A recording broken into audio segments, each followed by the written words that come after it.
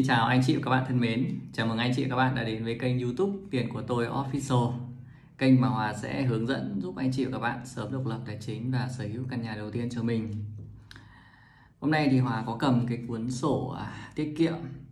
Đây là một cuốn sổ mà Hòa mới lập. Thực ra thì Hòa lập để trải nghiệm là chính thôi. Vì lâu lâu mình cũng chưa đến phòng giao dịch của ngân hàng Để mình trải nghiệm, mình à, mở thì à, cái sổ này mình không quảng cáo nhé mình chia sẻ mọi người một chút là khi mà mình lập cuốn sổ này, thì cái mục đích để mà lập là cái gì? Cái quan trọng là như thế. Thì cái quan trọng nhất đối với mình là mình lập để mình trải nghiệm thôi. Còn đối với anh chị các bạn, thì khi anh chị gửi tiết kiệm, thì mọi người lập để làm cái gì? Mục đích nắm giữ cuốn sổ tiết kiệm này là gì? À, để mọi người nhận lãi hay là để mọi người giữ tiền? Hay là để à, mọi người phòng khi ốm đau bệnh tật? Hay là để làm việc gì đấy? Thì khi mà chúng ta gửi cuốn sổ này là chúng ta phải có một mục đích rất là rõ ràng. Bản chất của gửi tiết kiệm là tích lũy tiền. Và tích lũy tiền này thì nằm phục vụ cho một cái mục đích đó chính là dự phòng. Mục đích căn bản nhất của gửi tiết kiệm chính là dự phòng chị ạ. Dự phòng cho những biến cố xảy ra trong cuộc sống của mình. Thì dự phòng đó là gì?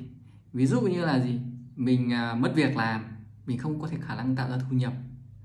Ví dụ như là mình à, gặp những cái biến cố bị ốm đau bệnh tật Đấy.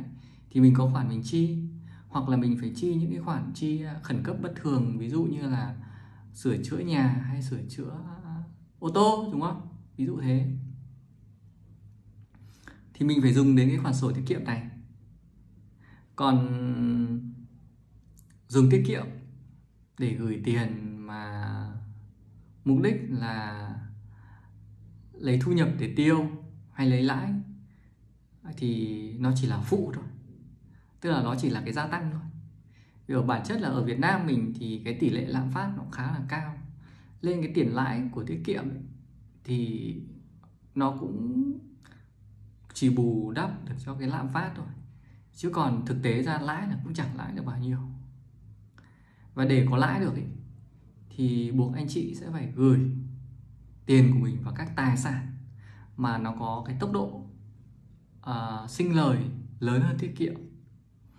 Thì đó chính là gì? Đó chính là trái phiếu doanh nghiệp. Đó chính là cổ phiếu. Đó chính là các quỹ cổ phiếu. Hay đó chính là các cái bất động sản.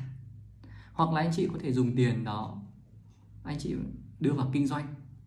Thì những cái à, cách thức đó nó mới đem lại cho mình cái lợi nhuận được.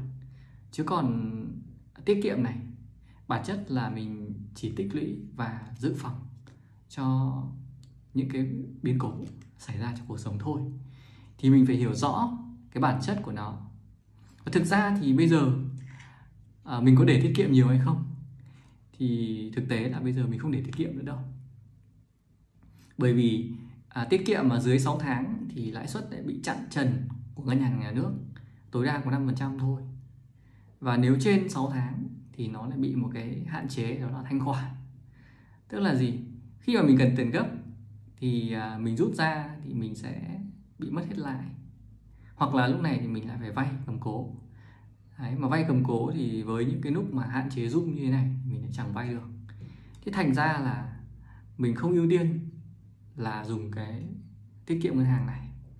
Đấy, mình bây giờ mình sẽ ưu tiên là thay vì là dùng tiết kiệm thì để có một cái quỹ dự phòng cho mình, thì mình sẽ dùng quỹ trái phiếu là chính. Và mình phân bổ thêm vào vàng. Và mua vàng thì mình mua vàng à, vàng nhẫn hoặc là vàng SJC thì à, hai cái đó chính là hai cái tài sản mà tích lũy, phòng vệ cho mình là chính.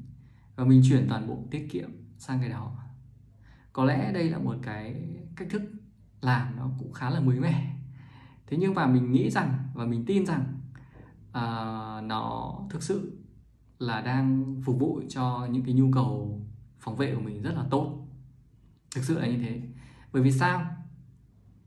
Bởi vì khi mình cần tiền thì mình có thể bán từng phần quỹ trái phiếu ra để mình sử dụng. Đấy. Và mình để càng lâu thì mình lại không bị mất phí bán nữa. Đấy, ví dụ như có những quỹ thì một năm có những quỹ thì hai năm thì bán đi là không phải mất phí nữa. Thì mình cần tiền thì mình bán được phần đi. Mà lãi suất của quỹ trái phiếu ấy, nó lại cao hơn so với tiền gửi, tiết kiệm. Và nếu mình bán được phần đi thì mình bán đến đâu? Thì mình vẫn được hưởng cái phần tăng trưởng lãi đến đó. Tất nhiên thì quỹ trái phiếu nó cũng có lên xuống, nhưng mà cái biên độ của nó rất là thấp, chỉ không mấy phần trăm thôi. Thì nó cũng khá là tốt. Và nếu mình bán hết quỹ trái phiếu rồi, thì mình có thể dùng đến vàng. Tất nhiên thì mình cũng không hy vọng là phải dùng đến các cái quỹ này. Bởi vì mình luôn có các cái quỹ tạo thu nhập thụ động cho mình, hoặc là các cái cái cái số tiền mà mình làm ra từ cái việc là sức lao động của mình. Mình đi làm thuê, hay là mình làm kinh doanh, hay mình có các cái khoản thu nhập thụ động khác thì nó có thể là phục vụ cho cái khoản chi tiêu trong cuộc sống của mình. Đấy, mình không mong muốn là phải phải dùng cái quỹ này. Nhưng nếu trong trường hợp mà phải dùng thì đó chính là cách mà mình đang thực hiện. Và mình hy vọng rằng cái video chia sẻ này của mình sẽ mở cho anh chị một cái cách tiếp cận mới. À, thay vì chúng ta à, gửi tiết kiệm ngân hàng để chúng ta dự phòng lấy lãi thì chúng ta có thể là sử dụng các cái tài sản khác như là quỹ trái phiếu hay là vàng để mà dự phòng cho cuộc sống của mình. Và có nhiều anh chị thì sử dụng cả ba và hoàng nghĩ đó cũng là những cách tiếp cận.